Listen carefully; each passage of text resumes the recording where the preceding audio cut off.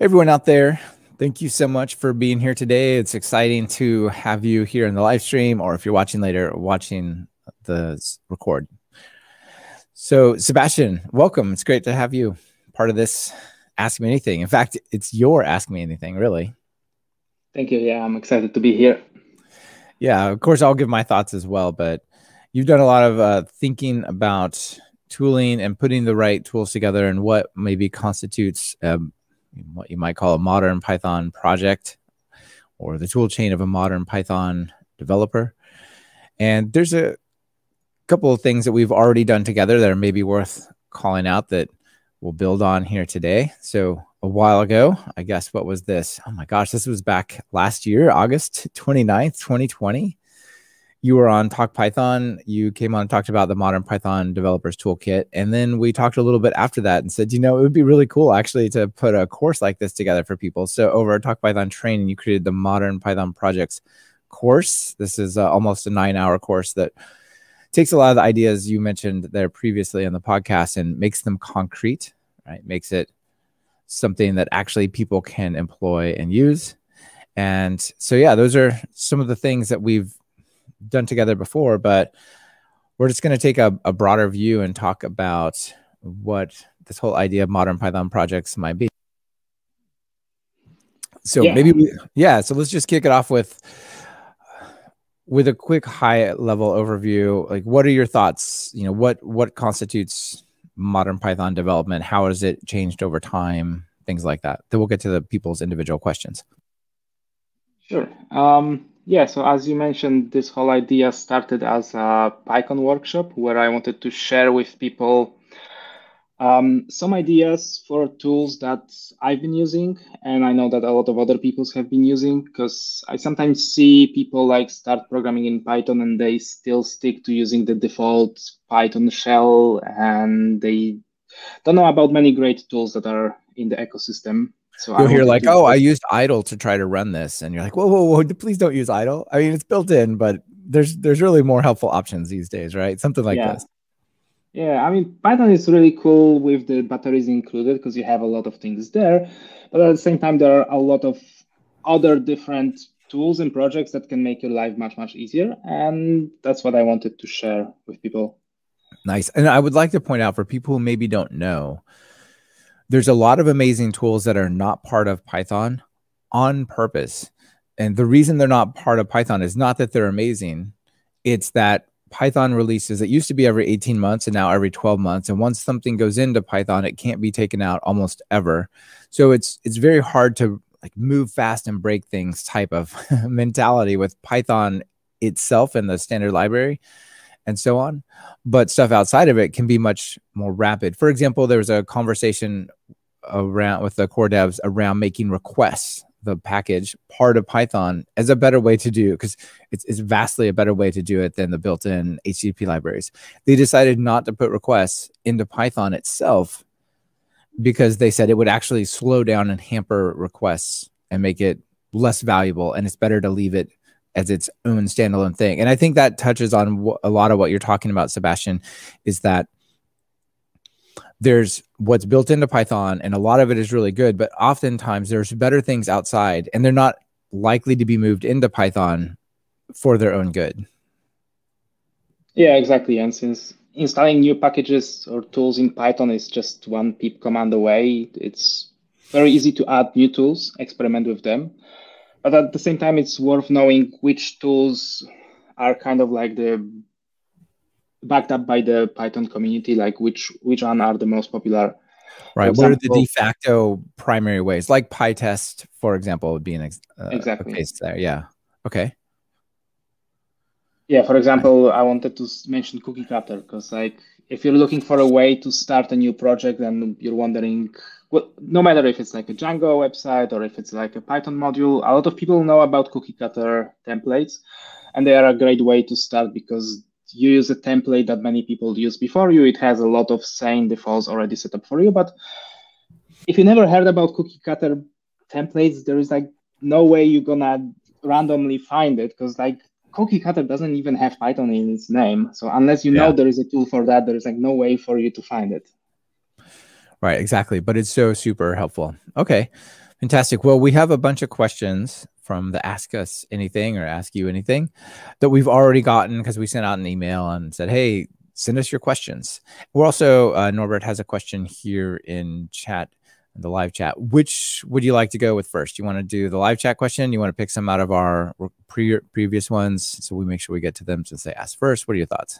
So maybe go with the one that we got beforehand because there are some interesting questions that we, that we picked up and I think they will be useful to more people. And then we will do the live chat. Yeah. All right. That sounds great. So, folks out there, please keep putting your questions and uh, follow up questions to what we're about to talk about in the live chat, and we'll we'll get to them. All right. So the first one is, what's the point of setting up something like PyEnv, using VENV, and so on, when you can just use Docker? Yeah. So maybe a little bit of background just for people who are like not yeah. really sure what what these all these things are, and then the trade offs. Exactly. So PyEnv is a tool that you can use to manage different Python versions on your computer. So for example, if you want to have Python 3.6, 3.7, 3.8, 3.9 installed at the same time and easily switch between them, you can use that. And then VENV is a tool used to create virtual environments. So it's a way to isolate the dependencies of your project. So basically you would use PyEnv and VENV to isolate Python and Python packages. right. so Python is getting the, the version you want, and then VENV is isolating that for a particular project, right? Exactly. Okay. They, they work together. And then the same thing could be solved with Docker, where you have like Docker image that you use to spin Docker containers, and everything is isolated inside of it. So you have a specific Python version that you choose based on which Docker image you use. And then inside this Docker container, you install pip packages, and they are isolated from both your computer and other Docker images, uh, Docker containers. And so coming back to the question, uh, I actually use both. I use Docker in a lot of my projects, and it's very convenient. And especially if you want to later uh, deploy uh, your project or share it with your colleagues. But at the same time, I don't want to spin up a Docker image if I just want to run a Python script. So I still use PyEnv to manage uh, Python versions on my computer. So I can use PyEnv to install, to change the global version of Python on my computer. And I saw that it's already useful for me because um, sometimes when I'm installing packages with Homebrew, by the way, I'm using Mac, so Homebrew is the package manager for Mac. Yeah, I use Homebrew I, as well, and I think that's also part of the modern tool chain is that you have something that updates your tools yeah, automatically. Exactly. Yeah. And then each time I'm it's installing something, I see that it's trying to install some Python version in the background. And at the beginning, I was worried because it was messing up the global Python versions. But with PyEnv, I have Python versions separated from my system. So whatever Homebrew is messing up there, I don't really care. I have PyEnv that lives in a separate folder and it modifies the system path variable. So these separate folders are being read before the system Python. And that works in front of the homebrew. So I don't really care what the system Python on my computer. By the way, Mac is still using 2.7.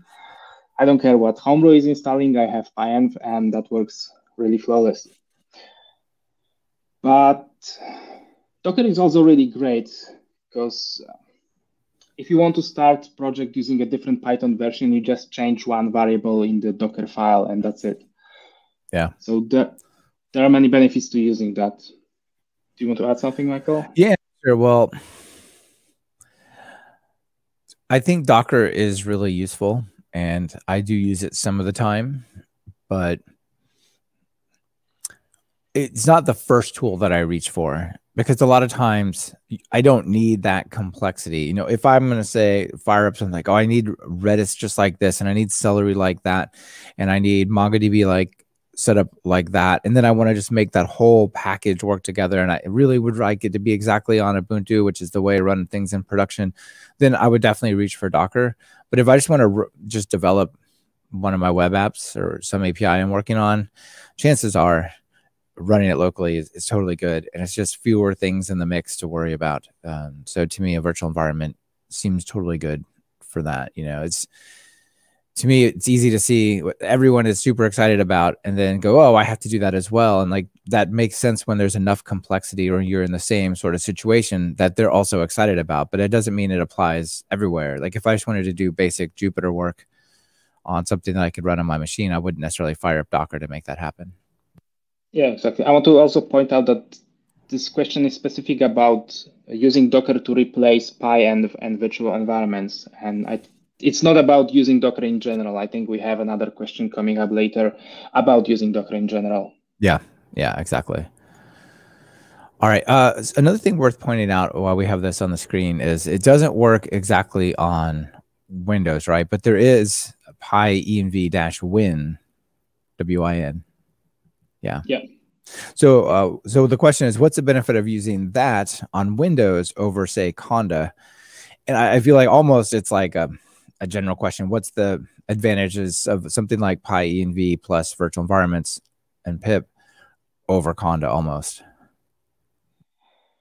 So I would say if you're using Conda on Windows or whatever operating system and you are happy with it, I don't really see any reason to switch to something else. I mean, Conda is like this one huge tool that you can use to manage both Python versions, dependencies, installing packages, and stuff like that. So I would say if you're happy, just stick with it. But if you're not using Conda and for some reason you don't want to use it, but you're on Windows and you want to install different versions of Python, then pyenv-win is a great tool to do that. Because unlike Conda, it's very specific. It's just for managing Python versions. It doesn't do a lot of other things that Conda does. But if you're looking looking for this specific type of tool, then I would stick with pyenv-win. Yeah. I think one of the things that I would point out here is that the Conda packages to some degree, and certainly the official Anaconda version, not necessarily the Conda Forge version, they do lag a little in, in version number to what is out there. Um, you know, something gets published by the author of that package to pip to PyPI immediately, and then eventually you know, once it's been verified to be working well and all that, it gets brought into Anaconda. And generally, that's not a big deal. But sometimes if you want to be on the absolute latest, there's a little bit of a delay. And the place where absolute latest matters the most is if there's a security vulnerability in an API framework or a web framework. You want to update if something like that were to come out, say with Django, which has happened recently, you would like to update to the new version immediately before anybody starts poking around on those things.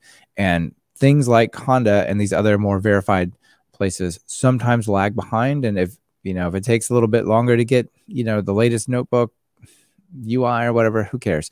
But if it's there's an active exploit on the internet against my thing, excuse me, then you definitely are going to want the, the latest, latest, latest as soon as possible.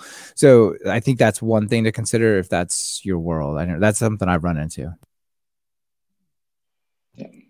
Yeah. All right. Uh, let's see. A couple of comments. Uh, let's take a couple of things out of the live stream comments just because mm-hmm. they're follow ups, right? So, one question is What's the best homebrew equivalent for Windows? Uh, I, have got some thoughts, but go ahead, Sebastian you got okay, any. I'm not a Windows user. I have no idea. I've heard about Chocolatey, but I only heard about it. Sorry. Yeah. So encrusted, encrusted says um, chocolatey, and then Scoop and Winget. I don't know about Scoop or Winget, but chocolatey is very much like homebrew, and I'm I'm familiar with that one, and that one works pretty well. So that that's pretty cool. So I definitely recommend if you're on Windows, check out Chocolatey. If you're on Mac, check out Homebrew. And then, you know, a lot of the Linux distributions already actually have this, right? Like apt on Ubuntu and so on. Um, you don't need to go searching for those because that's the primary way. Yeah. And then, whoops. Finally, Mike Levin says the best homebrew equivalent for Window is an hmm. Ubuntu repo under WSL. Okay, that's an interesting one as well. But yeah, so you also have WSL, but then you have apt as well. All right, cool. Thank you everyone for that. And we'll get back to some of the main questions as well. So next one, Sebastian, is about poetry. I've been using setup.py in my Python projects, but I see a lot of tutorials recommending other tools like pip env or poetry. Should you switch?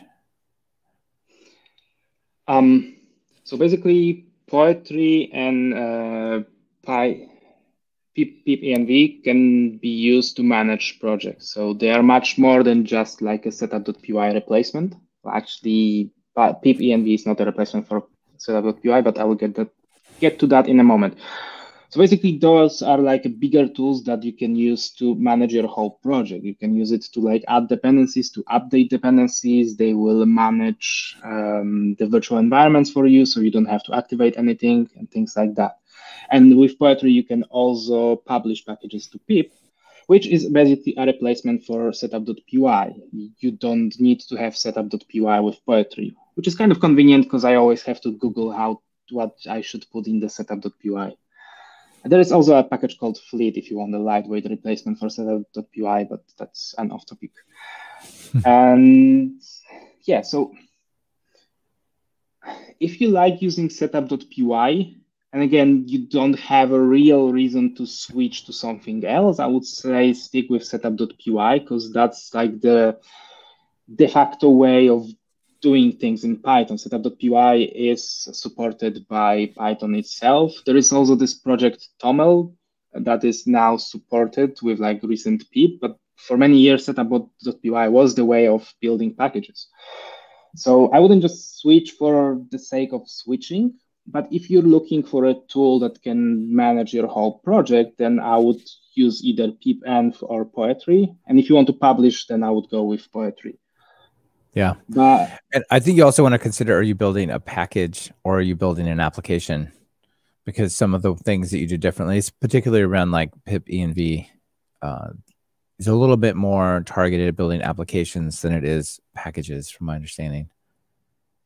Yeah, exactly. And one thing to consider is that both poetry and pipenv will be an external dependency for your project. So if for some reason they break or stop being maintained, then you're gonna have to migrate to something else. While if you still use setup.py and requirements files, then all the tools are there when you install Python. It's not a big problem. Uh, yeah, that's a good point. But also, yeah, it's a it's like a a bootstrapping step to get started. So if you have setup PY, you don't need to install anything else to kind of like check it out and try it. Uh, whereas, you know, if you have poetry, the first thing you have to do with a new environment is set up poetry so then you can then initialize all the stuff, right? Yeah, exactly. I I think I was recording an episode for the courses uh, with poetry, and the first package that I wanted to add was the latest PyTest. And the first command I got was an error because Poetry already had an older version of PyTest pinned down, so I had to like open the config file and remove it. But the first impression was kind of weird. you try to add a package and it breaks.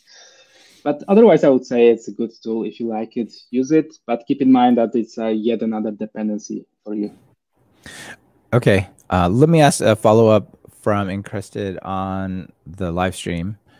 What is the best way, if any, for distributing Python applications to non-developers. So this this conversation of poetry and pip env and setup, all that is for developers, right? Yeah. Yeah. So um, what what's the story on where's the icon thing I can put my doc or pin to my taskbar and let people click? what what do I do there? Yeah, that's a good question. I also covered this in the course because uh, I was also looking for a way that you can distribute your Python application with people who don't know what Python is. And there is this PyInstaller package that you can use to create an executable files that contains all the dependencies. And it works really great. I was able to spin up a Windows machine, create an executable, then spin up another Windows machine without even Python installed, move it there, and it was working fine. It was using like a graphical user interface. The only downside I saw is that they are not cross compilers. So if you want to build an application for Windows, you have to compile it on Windows. If you want to build a Mac application, you have to do the same thing on Mac. But otherwise, I would say PyInstaller is a really great way. Yeah, we have a comment about that. Mm-hmm. It's a really great way to build executable Python uh, binaries. Yeah, I agree, and uh, so does Patrick Labille. Hey, Patrick, uh, thanks for that. Uh, I'll also add one thing really quick to this. I really, really quickly, partly to show it as an example for people, and partly because this is a thing that I do all the time. I built the little thing, uh, a little Mac menu bar app, 100% in Python, and distributed it as a .app file, just like you all are talking about here. Um, so uh, create this thing. It looks like this. All it does a few more things now, but you know, if you're copying some title and you want to turn it to a file name, or you want to like make sure you strip off stuff or clean out the text before you paste it somewhere else, I built this little thing that goes in the menu bar. Uh, build it with Python, and it runs with uh, PyInstaller, I believe. No, that uses Py2App actually. Is the one uh, that it uses, uh, I think. So anyway, there's a couple of options, but yeah, it's usually some variation of what you need to do on on Windows and on Mac, and you actually have to have a Windows machine and you have to have a Mac OS machine in order to create those distributables. So kind of a kind of a pain there. By the way, if someone is wondering what's this Py2App, because I was checking this as well. So there is PyInstaller that can be used for Windows, Mac, and Linux distributions. And there is this Py2App that is like a PyInstaller, but for creating Mac application. And there's also Py2Win, which is also, again, like a subset of Py2exe, Py- right? Yeah, Py, Py2exe. That yeah. is like a subset of PyInstaller for Windows. I feel like they might be more specific, like covering you know, adding things like icons and other stuff maybe a little bit better. I'm not sure. For example, like this one, it has, you know, like an icon set that you create for it. And um, the reason I chose Py2App is it's this is based on rumps r rumps which is a ridiculously uncomplicated like mac notifications or something like i don't remember what the url uh, the acronym stands for but it was it's 100% a mac app so i figured i just use the mac app builder thing for it because there's no chance it's running on any other thing because the framework itself is only for Macs. So yeah, anyway, uh, let's go to the next question. Here we go. Uh, follow up to the above question, which by the way is about setup.py because we've been jumping around, but the follow up to the recorded, the, the pre setup question is uh, which one should I choose? Pip env or poetry or something else? So I would say they are both very similar. It's just that uh, Poetry allows you to easily publish packages on uh, PyPI. So if you're building a Python package, I would go with Poetry. If you're not building a Python package, then I think both should be fine. They offer a similar set of functionality. Okay. Yeah. Very cool. Very cool. Um, Conda versus Pip. We sort of touched on this a little bit, but yeah. maybe a little more. Yeah, so that's an interesting question because uh, with Conda, you install binaries from the Conda repository, while with pip, you install packages from PyPI, and they are not always binaries. So the main difference is when there is no binary. Mm. So if there is no binary, pip will try to build this package from sources, and if you're missing some dependencies on your computer, then it's going to crash. With Conda, there right. is no on Windows problem. and you see cannot find vcvars.bat, this is the problem. Yeah. If you're somewhere else and it just fails to install with something that looks like a C++ compiler, that's the problem. And that's part of the problem what Conda is trying to solve, right? Exactly. So with Conda, there is no such problem because every package that is published in the Conda repository is a binary. So it contains all the dependencies, which can be super helpful if you're not like, a, uh, if you don't have a computer science background or if you're not very experienced with debugging this missing, whatever you said, Michael. so if you, let's say you, I don't know, if you're a data scientist and you just want to have your your code running, you don't care about setting up stuff. You just want to install some packages and have it running. Conda is an excellent choice because it has like a very good support for all those data science packages. You just you just install them. You have all the dependencies installed, so it makes things much much easier in that sense. Um, yeah. On the other hand, especially in the data science world where there's really weird dependencies, like you need a Fortran compiler. Like, I definitely don't have that on my machine. Yeah, on the other hand, as you already mentioned, Michael, um, those binaries don't always have the latest version. So someone first have to create this binary, and if there is like a vulnerability, then you have a problem. And there might be some like less popular packages that are available on PyPI, but no one created a binary for Conda. So either you have to wait until someone does that, or you have to create it yourself. Because with Conda, yeah. you can also install packages from pip uh, from PyPI, but you basically have to build a binary yourself. So again, if you're not like very experienced developer, you probably don't know how to do this. So I would say yeah. like the benefit of using pip is that you can install any package from PyPI, while with Conda you can't, but with Conda installing things is much easier.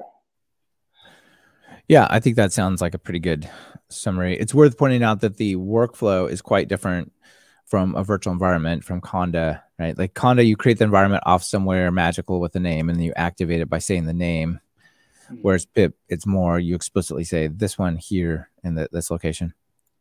Uh, so. Mike Levin has a, a chat stream. I'll, I'll, go through here. Thanks, Mike. So Conda was uh, says he says only necessary. I'll say was more necessary before pip included binaries, specifically with wheels.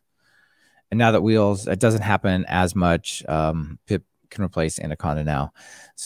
That's true, but Frankie One says, yeah, but not everything has a cross-platform wheel as well. So uh, I do agree with that. Um, for example, uWSGI when I install that, it seems to like compile away for a good 30 seconds instead of coming with some binary version that can just drop in or, or so on. So yeah, anyway, that's, uh, I agree, Mike, that that's generally true, that things are much better now that we have wheels, but it's not, it's true also that it's not 100%. What do you think?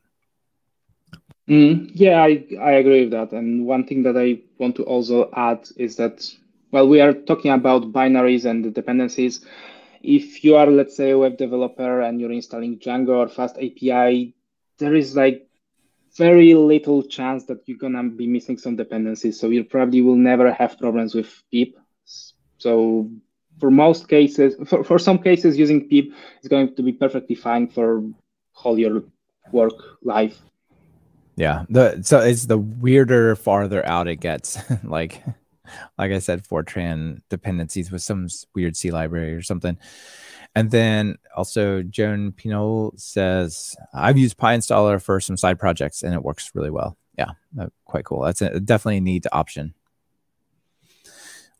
All right, Sebastian, on to the next. How do you hide secrets for development, for production?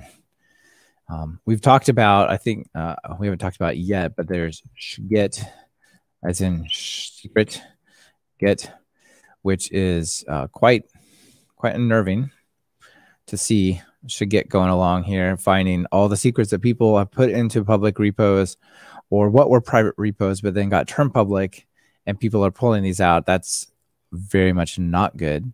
This is not what you want to do. Just put the secrets right in your source code. So what what do you do? What are your recommendations here? Um, so my recommendation is pretty standard to use the environment to hide the uh, well the secrets and store them as environment variables. And for example, you can have like a file with the YAML extension and uh, you can put it in the Git repository. It's just you don't put the secrets there. You just put the structure and let's say dummy values or whatever. So you remember that um, you have to set up all those uh, environment variables. Right. That's one of the challenges because if you put it in environment variables or you put it into the um some like secrets template.yaml versus secrets.yaml where the secrets.yaml is not in the repository in a real project there's going to be a bunch of stuff you got to have the names just right and you got to like knowing what you're even supposed to fill out for the app to work is a challenge so having this template around is super helpful but not with the real secrets right yeah and there are some libraries that you can use that will make managing those uh, templates much easier for you. And why am I saying about those templates is that quite often when there is no template, people start putting variables into the environment and they spin up a new server and they realize that they forgot about some environment variables and then things stop, stop working. So a good practice is to have this like an example environment variables file where you list all the variables that have to be set. And then you have like a proper environment file that you never put to the GitHub repository where you actually specify the real secrets and then you load it to the environment. Yeah. Encrusted has an interesting location under under a rock. under a rock, yeah, yeah. No, but then more more seriously, points out that there are tools for keeping secrets in version control too, like you know um, certain vaults, right? Like HashiCorp has something, and um, we've had some sponsors who talk Python with in things where you basically set up like the equivalent of 1Password or um, LastPass, but for your server, right? Mm. Yeah, definitely. If if you have to be more careful about your secret, it makes sense to use an external tool. But if a lot of those things can be mitigated by setting up the API keys properly. For example, if you have like an API key for AWS, you just limit what this uh, account can do. And that way you don't spin up if it leaks, then you don't spin up 1,000 servers mining bitcoins for you, and then you wake up with like one million dollars debt or something like that. So there are different ways to mitigate. Depends on what's the level of risk, but the easiest thing is to use the environment. Yeah, yeah, and you can combine them as well, right? Like you could have an encryption key in the environment variable, and then actually encrypt the other elements in ways, and then use instead of you know because that way, if it's just in the environment, like you could log in. If you hack into the process, you could just go, well, os.env, like what's in here? Let's just look around. And if it's all full of encrypted stuff, you're like, ah, I don't have no idea how to unencrypt this. So like, there's layers, right? And obviously, running your app as lower privileges is really important. Um, firewalls and isolate. There's like layers. This is not the only thing, but one of the things is not to put raw passwords and API keys in your source code. Yeah. Cool. All right. Um, Let's talk Docker again. Should should hmm. people use Docker? What do you think? Yeah, more broadly. So this is uh, yeah exactly this is a more broad question than the first one we had. Um, it depends who you ask, because there are some people who will tell you that you should always use Docker, and when you start using Docker, you should spin up a Kubernetes cluster, and then you finally will be able to deploy your almost static block there. yeah. But don't listen to those people. I mean, it really depends on what you're trying to do because Docker has those amazing benefits that it makes deploying your application much, much easier. So especially when you want to scale something up, it, Docker really pays off. Because for example, let's say you're deploying your website for the first time, then probably renting a virtual private server and then installing a Django website there, it's easier than writing a Docker file. But if you want to scale your Django application to like hundreds of machines. With Docker, it's much easier because you always use the same Docker file. And spinning up 100 virtual private servers by hand, it's probably not something that you want to do. So there is a higher cost upfront because you need this additional tool in your tool set. But in the long run, it will pay off. And another huge advantage of Docker is that it makes collaborating with people much easier. Because I remember back in the days when I was joining a new team, there were like some setup scripts and you had to install some dependencies and you had to set up some environment variables. And then after two days, you were finally able to start coding. And now when I join new projects that are using Docker, they it's just two commands, Docker build and Docker run. And you have this whole work, whole development environment running. You have the website there, you have database, you have the Redis server, whatever. So it makes uh, joining a new team much, much easier. So, but on the other hand, let's say if you have like a Python script or like one off script that you want to, I don't know, scrape some data from the internet, there is like absolutely no point in adding yourself more work to write a Docker file if you know that you're going to be throwing away this code like tomorrow. So so it depends on what's your use case. If it's for like simple things, I wouldn't bother unless you really like using Docker. But for like more advanced projects, it it will probably pay off. Yeah, I was speaking with one of the Talk Python listeners, having a hey, what do you think about this and how do we solve this problem type of conversation. And it was basically how do I make sure that everyone on my team has exactly the same version of Python? Right? I want to make sure that they're using 3.9.2 not 3.9.3, not 3.9.1. Well, you definitely don't want one because that has that floating point vulnerability. But you know what I mean? Like you don't want variation. You want exactly that thing. And if, if you really care down to that degree, you know, Docker is great because then you just make everyone run the same Docker image. You provide it in some, I don't know, local uh, Docker hub type thing, or just put the Docker file into version control. And if it changes, then it just rebuilds and it runs and off you go, right? Yeah. Yeah. So it helps a lot for that. But I totally agree. I wouldn't use it for like super simple things. You're just causing yourself more challenges when often it's it's not really that useful or you know that needed, I guess is the way to put it. Um, so there's some interesting follow-ups here in the live stream. Uh, in addition to Under a Rock, Frankie one says, "I thought GitHub now automatically detects when you commit secrets accidentally." Um, I think I did hear that it takes an attempt. I wouldn't count on GitHub catching all of my secrets. I would be more deliberate about it. What do you, any, do you know anything about this? Not really. I know that there are those bots that check like for the uh, vulnerabilities and stuff like that. So I would imagine that it also has a bot to detect secrets in the commits. But I'm just wondering how it works because when you push something to GitHub, it's automatically available there. So does GitHub put some blocker on your repo to not show the latest commit? Because usually what I see people doing is that they commit, uh, com- they push a commit with a secret and they realize uh, they push that. So they push another commit removing the secret, but there are like right. bots running through GitHub harvesting those. So the moment you push it, it's already distributed to some people or to shhgit. it's too late. It's too late. The stream has already been uh, observed yeah, it's it's really not good. Um, related to this, sort of follow on, I think related to the Docker a little bit, uh, maybe in some ways. So THP says, if you're not an expert Pythonista, how do you manage supply chain tool chain attacks appropriately? You want to maybe give people an idea what supply chain vulnerabilities are, and then we could talk about this. I don't know what our supply chain vulnerabilities. I, will give I'll give you the the run. So, for example, recently there were about four thousand malicious packages that were put into PyPI. Yes.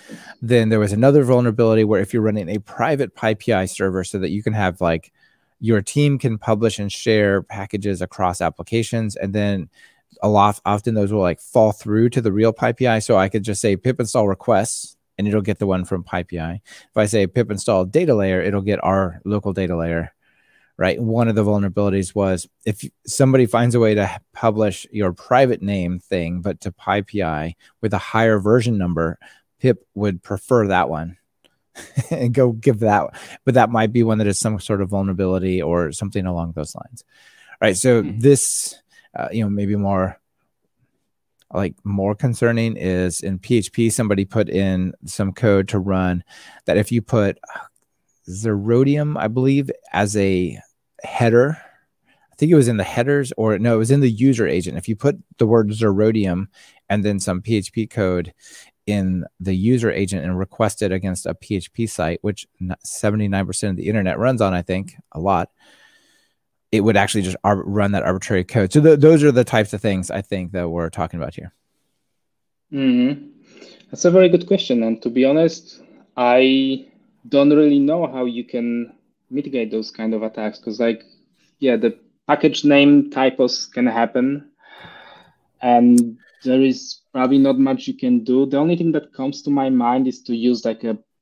If you don't know how to solve those problems, it's it's probably worth paying someone to take care of that. So I don't know, maybe using Heroku would be a bit more helpful. I don't know how they can, can mitigate this stuff. I don't know. What about you, Michael? Yeah, I, I got a couple of ideas. Uh, none of them are perfect. You can pin your versions. So you can go and look at all the libraries you're using and say, okay, I trust them as they are now. And if you pin the version in your requirements.txt or your pyproject.toml or whatever, you're not going to automatically get the latest version, which may have some kind of vulnerability snuck into it. So you can consciously decide to move to the next version. Hopefully, if you know if somebody were to hack into Django, maybe that gets out, but it wouldn't last very long, right? And so if you don't automatically upgrade on just the next deploy, then you're going to at least be a little bit better off. So pin your versions is probably one. Uh, you could whitelist. You could do things like set up a private PyPI server and just whitelist packages so people can't arbitrarily install various things, but they only install ones you approve. You can use this thing. You can use this as um, the Snyk package advisor. So if I want to learn about Fast API, like what's the story of Fast API, this is cool because it's not just security, but it's more than just security. It gives you like uh, the health, uh, the maintain maintainability level, or how much it's maintained, whether it has any known security issues, whether community is active, whether it's influential, all sorts of cool graphs about who's working on it, when it's been worked on, amount of funding, security analysis by Snyk, and so on. So this is a pretty good thing. So together, right? So if I were to say I'm going to pin my versions, and then those versions are going to be verified or with, or maybe I'm going to create a whitelist and only allow you to install from the whitelist, and I'll make sure that everything that gets through the whitelist at least has been checked out by Snyk. It's not perfect, but it's better than just pip install random thing and hope for the best. So yeah. Anyway, that's some of it. Let's see. Uh, Encrusted also follows on with uh, is vendoring dependencies and dependencies and appropriate mitigation? Like instead of pip installing requests, like finding the key bits of requests and just copying that code into your application. It certainly would help. Um, on the downside, if a non-intended vulnerability were to get into requests, not a hack, but just something that was a ultimately become a, became a security hole, you've now vendored in that instead of automatically getting the upgrade, right? So I don't know. What do you think? Yeah, I think it's easy to do this because you can basically put the virtual environment folder with your project and that's it. But it, in the long run, it's probably harder to maintain. And as I think, as you said, like pinning the dependency versions, making sure you don't have typos, uh, probably can save you from a lot of those uh, those problems. Yeah, also, be like, very careful when you pip install something that you you get the spelling right because there was a one those vulnerable ones was something like asteroids versus asteroid. I mean, it, it was like plural versus singular, and that was it. Right? It's it's very subtle. Yeah, and I guess if you're using like more popular packages, then you probably should be safe. I would say like with some more obscure packages, it can maybe happen that they will get abandoned and someone will either hack the Git repository or like squat it. I don't know if it's yeah. actually possible with PyPI, but um, with bigger bigger packages, it's probably not an issue. Yeah, for sure. Uh, I think it's a, a relative thing. So let's see. Piling, hey Piling also says you can develop in a VM or Docker. And uh, related to that, uh, Doug Farrell, hey Doug, uh, he says really interested in how to set up a Docker-based deployment environment or development environment. Excuse me. So one of the things I think you want to distinguish here in this supply chain thing is I'm trying something out, and if it's going to run that setup.py when I pip install it, it could you know pip install virus onto my machine if that's your concern, you can develop in a virtual machine. You can develop in Docker because then all it sees is what's inside the Docker machine, which is nothing basically. So that's really cool. But uh, also, as Encrusted points out, you know that if this is developing your application, then pushing it to production, you know that vulnerability comes along onside the web server. So that's a that's a challenge, right? So in this exploratory world, I think things like Docker actually help a lot to solve this problem. But in a production world, it, it does nothing, nothing to help. Uh, but maybe let's follow on real quick with that. I think this development environment based on Docker is pretty interesting. For example, PyCharm now lets you set up a Docker image as the run target, so which you can even debug into. And so you just press run and it starts the Docker thing, it attaches to it. You just run it there uh, I'm I think VS Code also has something along these lines. You know, yeah. What do you think about this?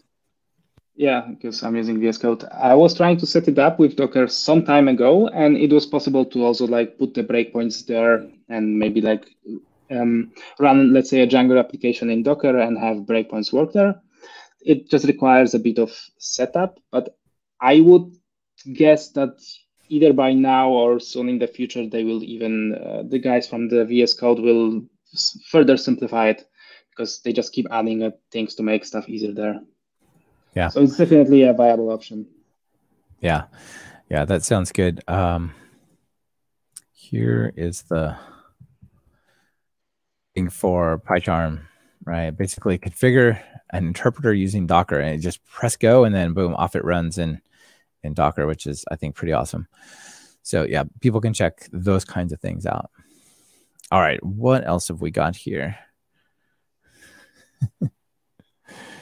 yeah, uh, some comments about this basically being so much about dependencies and stuff. But I, I do think a lot of it really is it's like how do you get the right libraries? How do you keep those libraries up to date? How do you do that security? How do you uh, securely how do you deploy those things out to the world? How do you share that with the user? So much of the stuff is a pretty interesting uh, pretty interesting thing to talk about uh, one follow up here from Doug is Are there resources or links that would help me and everyone understand how to build a Django debuggable Docker environment? I think actually the thing that I have on the screen here, if you're into PyCharm, is one. I'll throw that into the, the live chat here. I mean, that is, you know, click these three buttons and then press the debug button and it runs in Docker. Do you have something like this for VS Code? Um, so what I did, I checked the documentation. I think VS Code was also using Django example as in Django uh, Django as an example in their documentation. So you would have to dig in their docs, but they're pretty easy to follow. But from the top of my head, I don't know anything. Sure. Yeah. Okay. So let's see. I think uh, Encrusted has a pretty interesting comment question here. What's the story around code formatters, linters, and type checkers. Autocomplete got the better of them there, but no problem. Um, yeah. Could you be more specific? well, sure. uh, yeah, I'm guessing like, should you use black?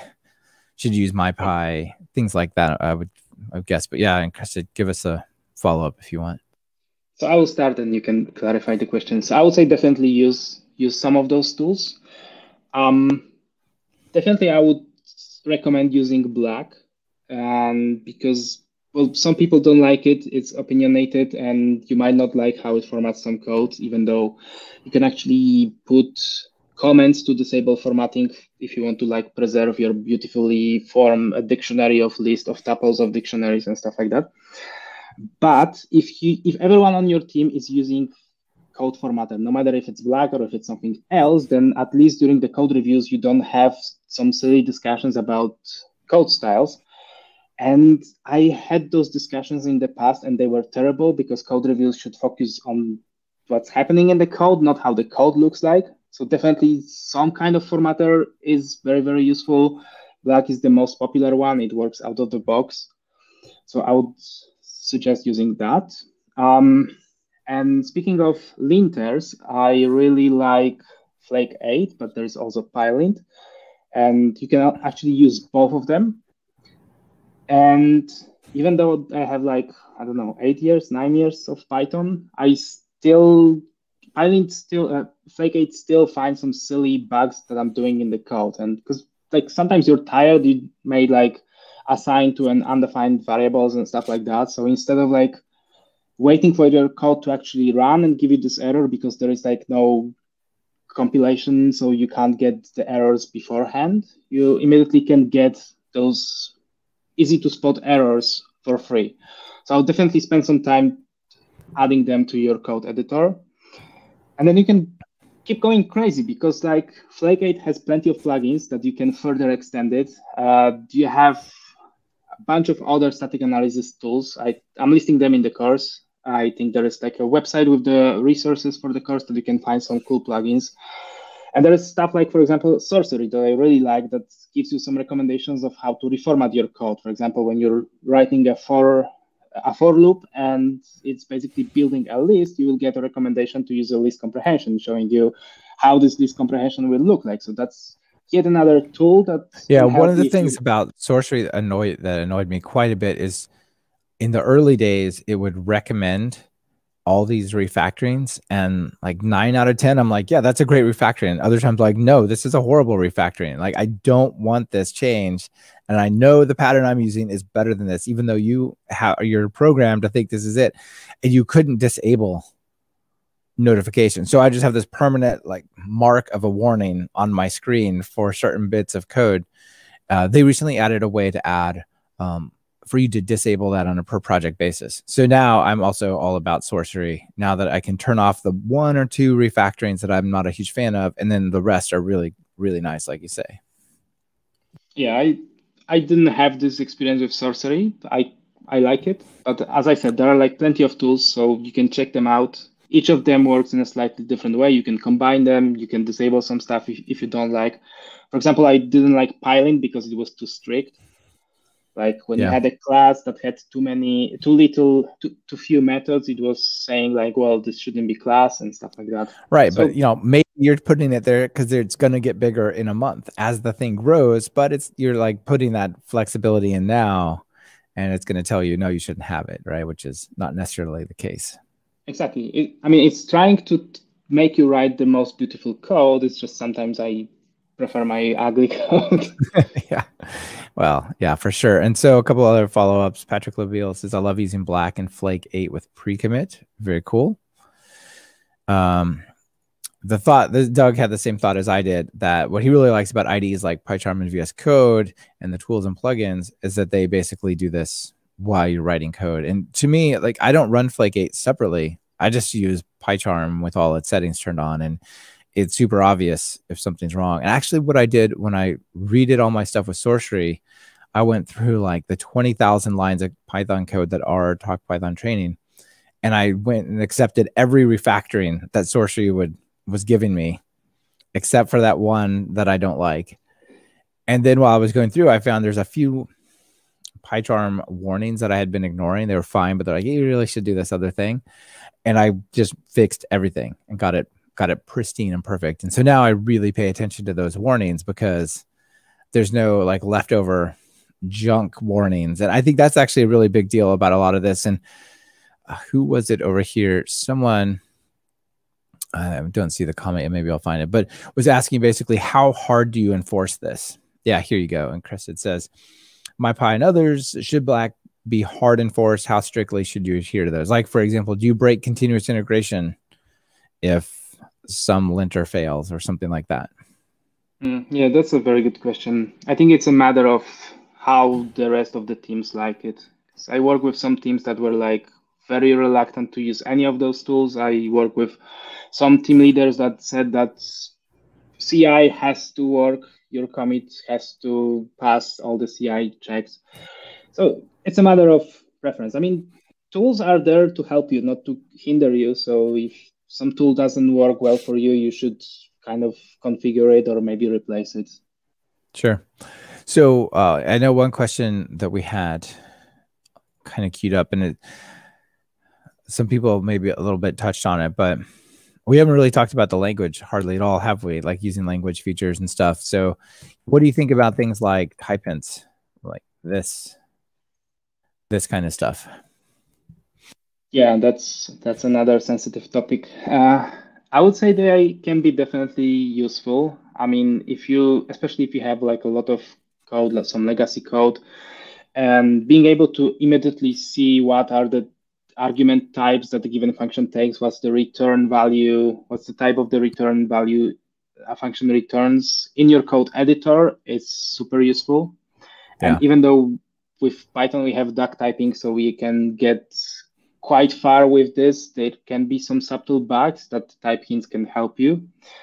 But the thing with type hints is, well, my problem with type hints is the same problem as with test and documentation. It's not strictly a problem, but it's a yet another thing that you have to take care of. I'm not saying I don't like writing type hints, but for example, let's say you're writing code and then you have to add tests, you have to add documentation, and you have to add type hints and then your code changes. And you have to update all three places. Because it's not only about updating tests and documentation you also have to make sure that your type hints are updated. Because if you have wrong type hints then they are useless.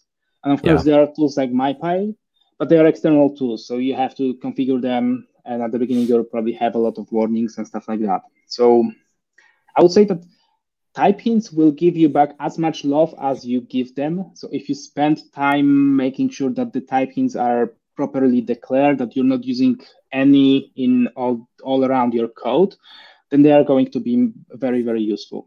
Yeah.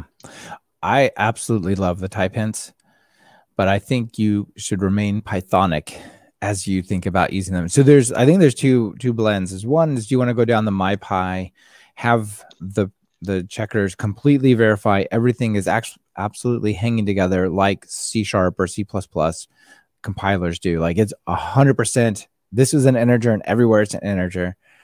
So you you like lay all that out. That's one way of using these.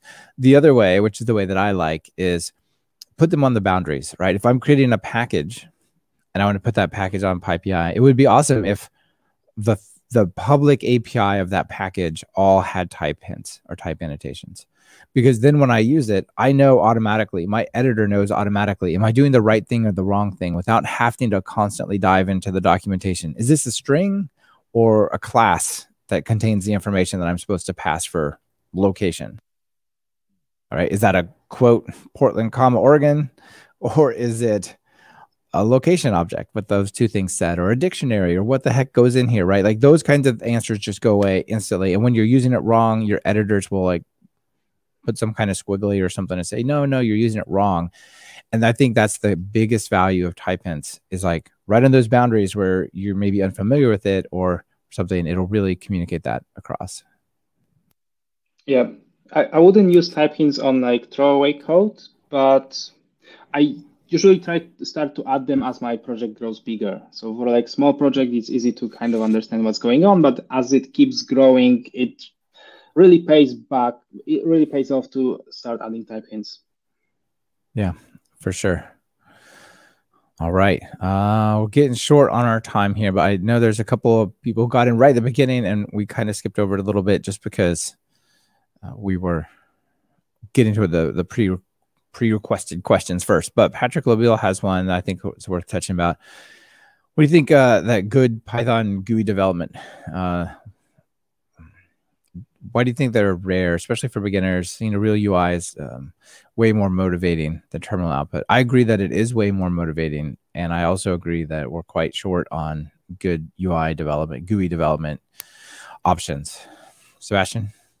Yep, same opinion. I was never using a lot of GUI, so I'm not very familiar how many tutorials are there. But I was building one for the course, and I decided to use uh, tkinter because it comes with Python.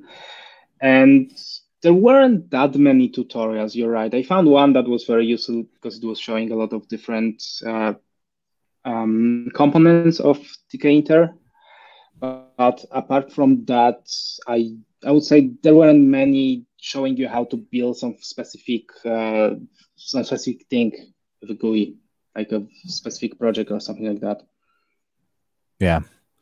I just dream of the days when we got something like VB6 or Windows Forms it was in .NET where you just have a nice UI thing.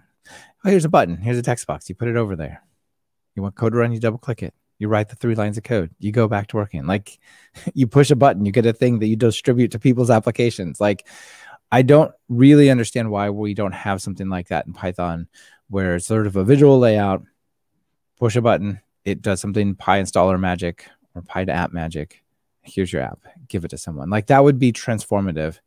And uh, we just, we don't have it. I think it's a bit of a chicken and egg thing, but you know, one can dream, one can dream. All right. Uh, Norbert Kirkpatrick also uh, talks about some enterprise development stuff. What's your take on things like Azure Active Directory and security, DB encryption, uh, major cloud platform deployments, and so on? It's a bit of an open ended one, but what are your thoughts generally? I have almost no experience with Azure. And yeah, as you said, it's kind of a broad topic. So I don't really know what to say here. I'll throw a few things out there. Um, one, Azure Active Directory seems pretty interesting to me. One of the things that's an ultra pain is federated identity or trusting other people's identity. Like if I want to let all of your users single sign on at your place and then single sign on at my site. Like that's not an easy thing to do right now. And I think Azure Active Directory makes that quite easy. I haven't done a lot with it, but in that use case, I think it's pretty useful. I honestly don't do much with Active Directory at all, like corporate accounts and like, you know, building public web apps and things like that. So that they don't make sense in that world. Database encryption, very interesting. Um, there's a lot of levels. Is this data uh, encrypted at rest? Is it encrypted in memory? Is it encrypted in the response? You know, a lot of the modern databases have like encrypted columns. For example, MongoDB has different encrypted columns you can have.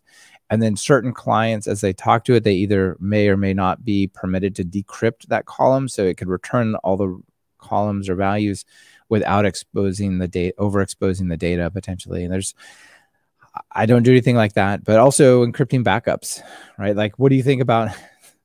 I got to take a backup of uh, the database. Now what? This, this is like the worst possible thing I could lose is the backup to the database, right? It's the only thing worse is letting people get access to the live database.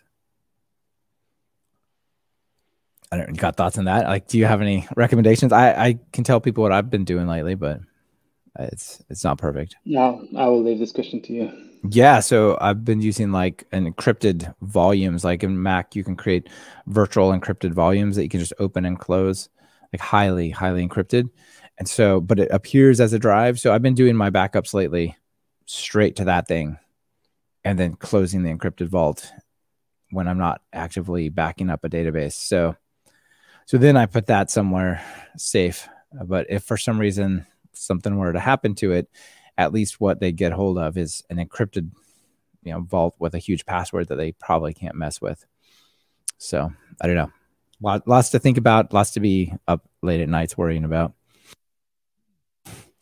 Yeah, and then Vincent uh, throws out there, we have VB style and Anvil, and yes, Anvil was certainly on my mind. I didn't quite call it out, but I forgot about it, but then I remember them from some conferences. And, Anvil is really yeah. interesting in that it has that. It's the thing that that's different here is what you get is Anvil is super neat, but you do get a specific type of web application.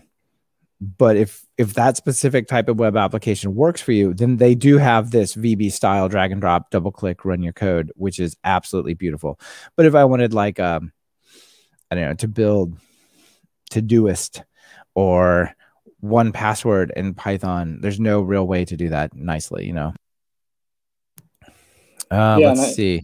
Yeah, go ahead. I think I think one nice thing about Anvil is that it actually generates a nice nice code that is readable. Because the one problem I have with this, what you see is what you get text editors, is that I remember them from the time when you were building websites like that.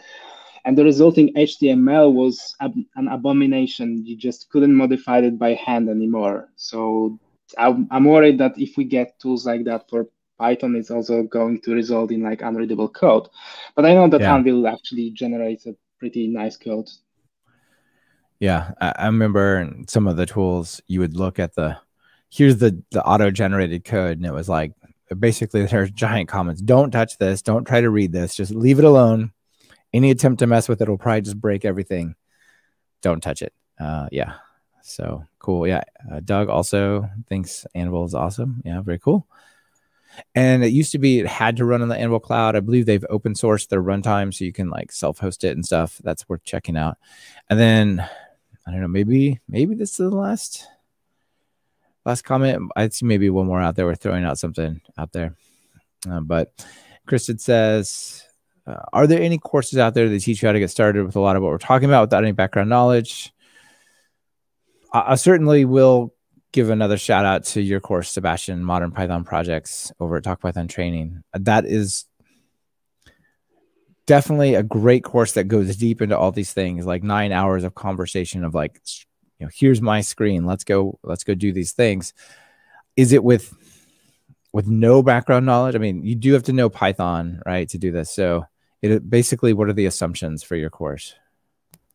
You have to know Python and that that's it. I show you a lot of those tools, but I always start from scratch. Like I, I even had like a empty Mac OS account, so I made sure that I don't miss some dependencies and stuff like that. I also like spin up a Windows VM for some parts that required Windows. So I think you should be good with just knowing Python. Yeah. Uh, okay, a couple real quick ones here. Doug says, "Oh man, yes, Visual Python would be amazing. I like Visual Basic. I agree." And then THP says, "Fman build system is a pretty cool. Fman is a pretty cool UI and the Fman build system for you know building those things up and distributing them. That's pretty interesting. I haven't done anything with Fman. Have you? No, first time I heard the name. Yeah, uh, I, it's like a file management tool, I believe, in Python. The person who created it then also built this build system and this UI on top of it. So pretty interesting. Um, cool. Let's see. There's another one from Joan. You know, is um, is Quart and its async cap- capabilities ready to level up Flask web apps for medium-sized enterprises, or currently better to stick with Flask? I have no experience with Quart, so I don't know. What about you, Michael? None. I mean, I've talked. I interviewed the guy who did it, um, and I've played around with it, and it seems okay. But at enterprise, like it's got to be you know five nines level of up. I've never run anything like that. Honestly, if I was really, really looking to build a web app with async capability, I would either look at Fast API or Starlette. Like I know people might think, oh, with Fast API, that's an API thing, not a web thing. But to be honest, you know, it can be it definitely can be done. And I actually built a whole class on on how to take Fast API and sort of replace Flask with it. So it's not that hard. It supports templates, it supports static files, all those kinds of things. Is super cool. And yeah, thanks Norbert for the, the shout out on the 10 apps course. Um, that's that's really a fun one. But yeah, so I think actually if I was trying to go all in on async, I feel like Fast API is one of the best async frameworks out there. It's just it all holds together really, really well. So yeah. All right. Uh, anything else we want to cover? Yeah, I think that that might be it. Uh, Sebastian, you want to just maybe give us some wrap up thoughts here on this whole whole idea? Uh, well, thank you for coming and thank you for those questions. They were really great. And I hope we answered all of them. And I don't know what else to say. Yeah. Well, Back I think, you, Michael. Yeah, I think you know there's a there's so much variety. I've worked in different technologies over the years. I've been doing development like 25 years or so, and some of the time you'll find some some language or some ecosystem where there's a sort of a central like this is how you do things like specifically in the like the microsoft space with. net. Like here's the one web framework you use. Here's the one database orm you use to talk to the one database you use. And while that's really helpful that like well i now i know what to do. I do these four things and i'm good. This is the recommended way. In python we don't have that. And that's absolutely a blessing but it's something of a curse as well in that there's this paradox of choice right oh, it's amazing. We have this cool ORM library. Oh, wait, there's 10. Well, if there's 10 ORM libraries, which one should I choose? And we were having this conversation. Oh, should we use Flask? Should we use Fast API? Should we use Quart on top of Flask? Should we use Django? Like you can just go on and on and on about all the trade offs that you have to make. And so I think one of the big challenges is choosing a path and then going down it. Choosing, say, I'm going to use poetry, Flask, uWSGI, let's go, or, or something like that, right? Whatever your branch that you happen to follow, I think that's a big challenge. And maybe I'll throw out one more thing uh, for people out there on the live stream, if I can pull it up quick enough, is awesomepython.com or awesome-python.com. This kind of helps at least narrow that list, right? So, for example, if I'm interested in caching, like here are probably the eight most popular caching libraries that you might use or something like that. It's not perfect, but at least it gives you some way to explore when you're totally new. Because I think that that's one of the big challenges here, Sebastian, is not that there are not enough choices, but there are so many choices at each step of the way that that's uh, a challenge, right? There's the the T-shirt. I learned Python in the weekend. It was I learned Python. It was a great weekend, right? Like that's funny and also kind of true at the language level. But I don't know about how you feel, Sebastian. I'm still learning Python after so many years, and all yeah, day. And same, same here. And like tools come and go. I I bet in like five years, this list will be completely different than it is now. So it's definitely important to spend some time trying to figure out which tool you should use because as you said with python you can mix and match different tools and sometimes there are like no tutorials explaining how to do things sometimes the tool might get popular but then it's abandoned and and it's no longer maintained so yeah, yeah. i mean a lot of tools to choose from yeah i guess we'll leave with that there's a lot of tools to choose a lot of tools to choose from and we've covered a bunch of options and a lot of trade-offs here so sebastian it's been great to chat with you about that thanks for coming on the live stream Thank you. Likewise, yep. it was great to talk with you. Yeah, you as well. And thank you everyone for all the questions, those who emailed them in previously and the live ones. Uh, it was a great conversation. See you around next time. Thanks for coming. Bye, guys.